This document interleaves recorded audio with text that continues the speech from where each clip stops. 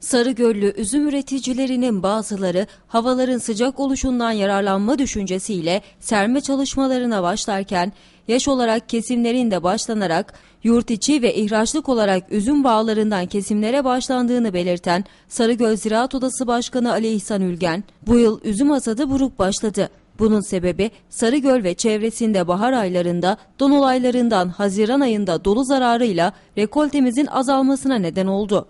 Sarıgöl'de 90 bin dekarlık alanda üzümcülük yapılmakta. Bu yıl zarar gören üzüm bağımız 35 bin dekarı bulmakta. Zarar görmeyen bağlarda kaliteli üzümler var. Hasadımız Aralık sonuna kadar devam edecek dedi. El sallayın, el sallayın. Akşam televizyonda izlersiniz.